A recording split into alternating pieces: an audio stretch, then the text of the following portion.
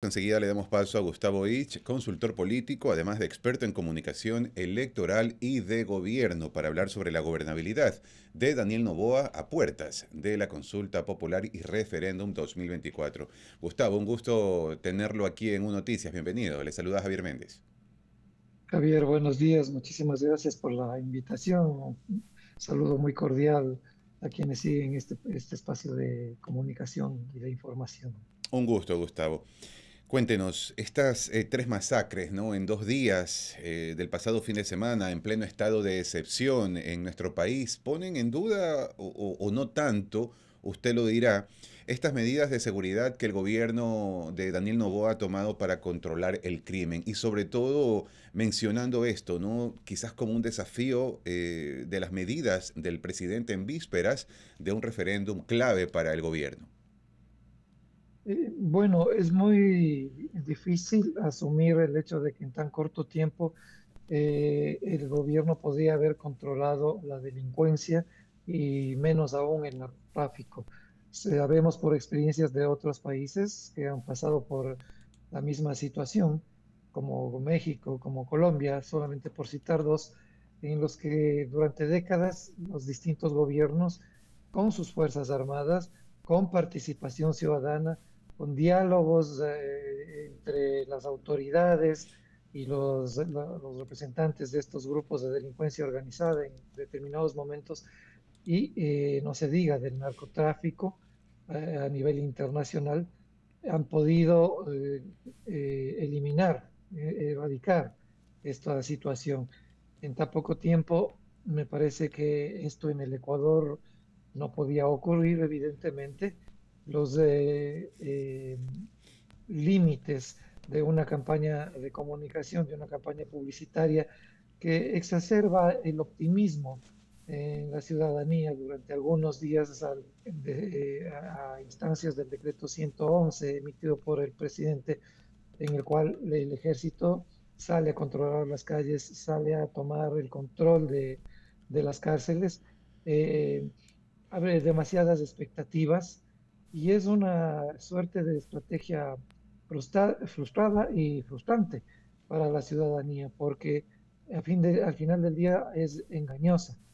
Creo que lo que ya toda la ciudadanía está empezando a darse cuenta y a constatar es que los límites del, plan Fénix, cuyos detalles nadie conoce salvo eh, algunas personas del gobierno, y de la gestión de las fuerzas de seguridad, son evidentes para controlar esta, eh, esta situación eh, tan, tan crítica, tan, eh, tan en definitiva agobiante para la población ecuatoriana en todos los, los estratos. Gustavo. Y en vista de las elecciones, obviamente la incertidumbre es la que empieza a generar un mayor sentimiento entre toda la ciudadanía.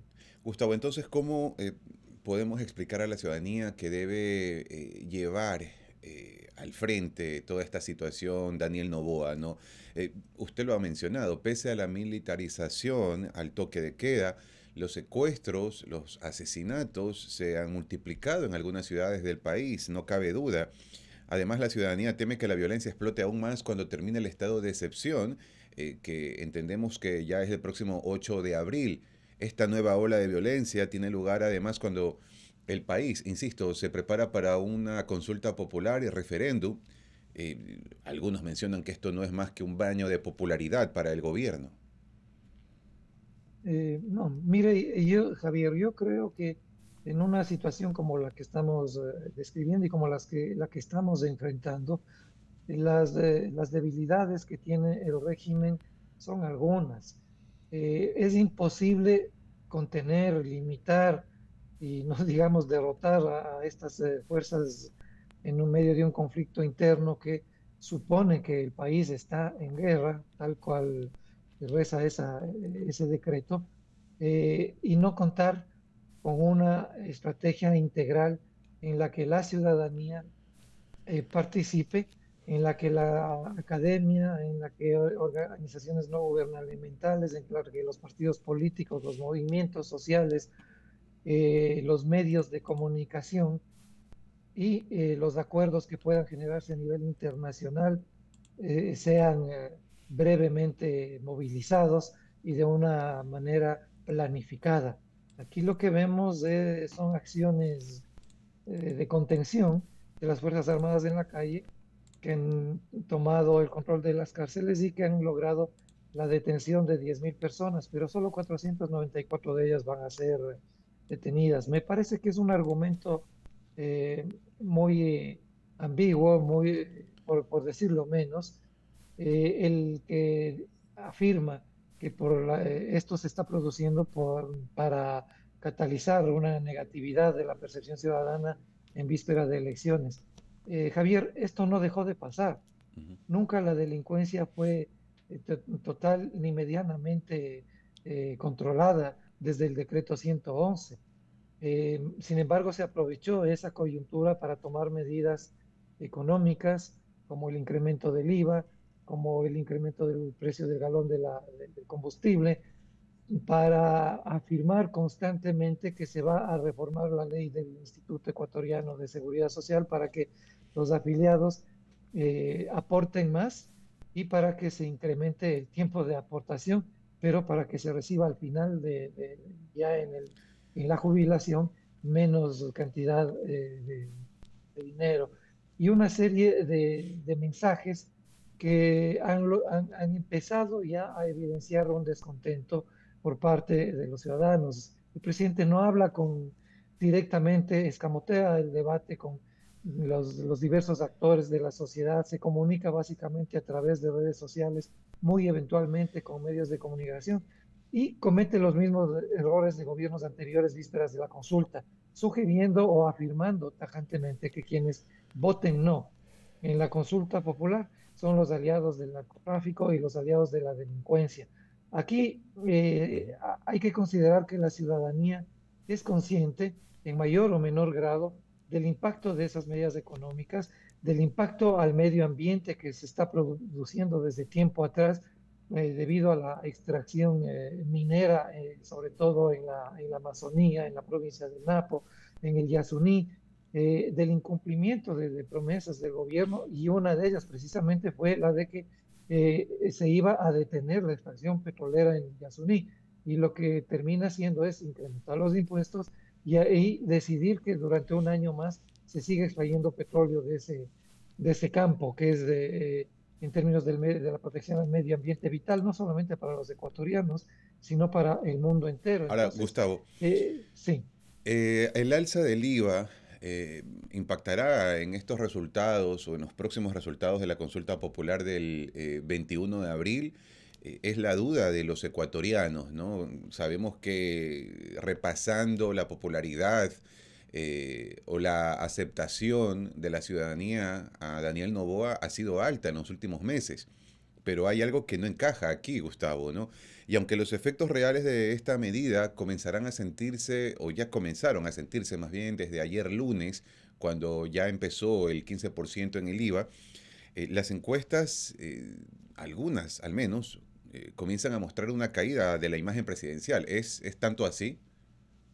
Sí, es que es natural que el desgaste, eh, Javier, empiece a producirse a partir precisamente de lo que le estoy diciendo. Mire, se firma, entre otras cosas, un tratado de libre comercio con la China que fue eh, desde el gobierno de Lazo manejado en términos de una extraña opacidad, incluso en algún momento eh, de la negociación se declararon confidenciales los detalles de este tratado.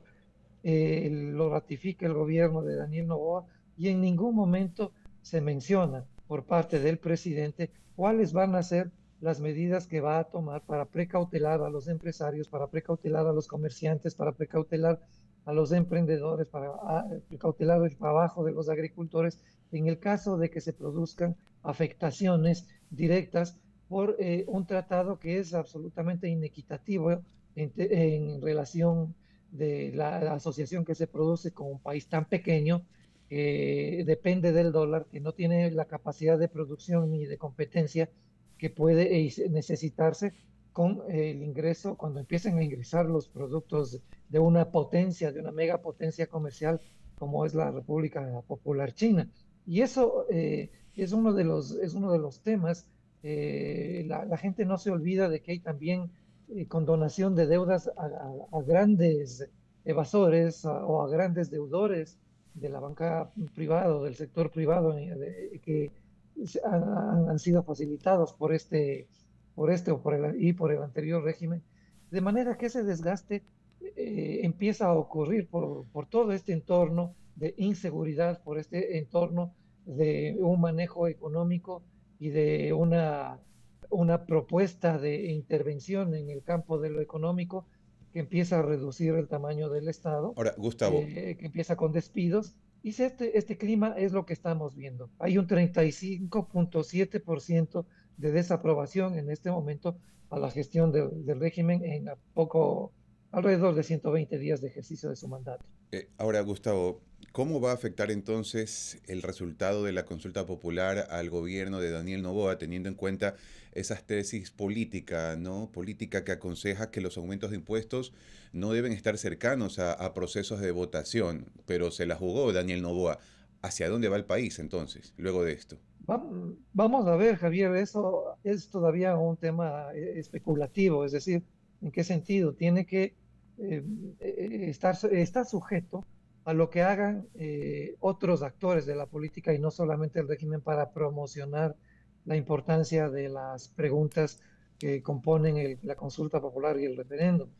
el sentimiento de que el país está viviendo en medio de una seguridad que no ha sido controlada, de que el desempleo sigue, sigue siendo una preocupación fundamental, de que hay un proceso migratorio similar o mayor al que ocurrió durante la crisis bancaria, eh, son temas que pueden ser explotados entre los que ya mencioné anteriormente por parte de otros actores políticos y sociales en medio de la consulta popular.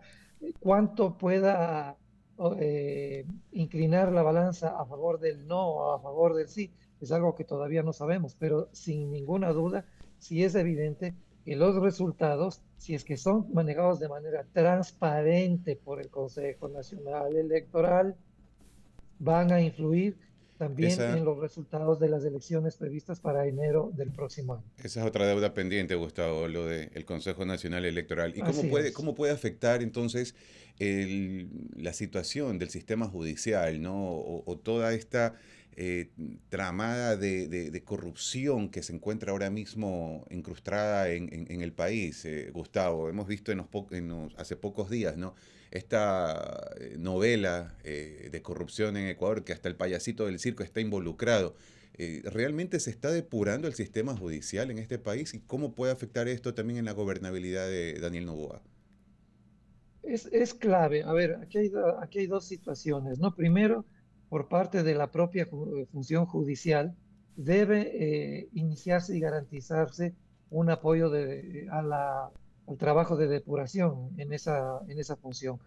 Tenemos por lo menos al presidente de la Corte Nacional de Justicia, el doctor José Swing, eh, que es, una, es un, personaje intachable y que impulsa un aire de renovación al interior de esa entidad pero la función judicial está compuesta por, varias, por varios otros organismos. Hay un trabajo que se está realizando también al interior de, del eh, Consejo de la Judicatura, pero el tema es sumamente complejo, toma tiempo y debe haber una, una transparencia y una eh, acción decidida eh, que de raíz corte la corrupción que está además encadenada, que está anclada a la, a, la corrupción que usted señala y que es manejada desde tanto el sector público cuanto de la misma empresa privada y en la que se involucran a actores también vinculados con el narcotráfico, con la mafia internacional, de modo que esa es una tarea sumamente fuerte. Y el otro, y el otro aspecto es el comportamiento o la definición que tomen las fuerzas políticas eh, que están actuando en el país y que son muy visibles alrededor de la Asamblea Nacional y con las cuales, además con las, las fuerzas mayoritarias, el gobierno del presidente Novoa ha generado un llamado acuerdo de gobernabilidad que termina a la larga siendo un acuerdo de reparto, un acuerdo de, de pactos de regalada gana, un acuerdo en el que se favorecen a ciertos actores, pero eh, no se consideran estos temas eh, y no hay una intervención de la ciudadanía en, para garantizar de una manera participativa la transparencia de lo que se decide entre el gobierno y estos bloques de la Asamblea. Mire usted, los dos bloques principales de la Asamblea, los más numerosos, son quienes eh, con, eh, tienen mayor número de personas y siendo investigadas por la Fiscalía en tres procesos al menos gravísimos que tienen que ver con la red de corrupción en la justicia. Uno de ellos el caso Purga, ¿no? A ver si... Uno de ellos el caso Metástasis y, eh, hay casos que todavía no han sido eh, desarrollados y procesados eh, totalmente, como el caso Gran Hermano. Así es. y ahí tenemos fuerzas políticas, operadores políticos de, las dos organizaciones en las cuales, con las cuales el, gobierno apuntala ese acuerdo de gobernabilidad. Muchas gracias, Gustavo, por la entrevista. Muchos temas todavía por analizar, pero seguramente lo tendremos en próximas entrevistas. Gracias por su tiempo. Encantado de estar con ustedes. Gracias por la invitación, Javier. Gustavo Ich, consultor político, experto en comunicación electoral y de gobierno, hablando de la gobernabilidad de Daniel Novoa a puertas de la consulta popular en este mes de abril.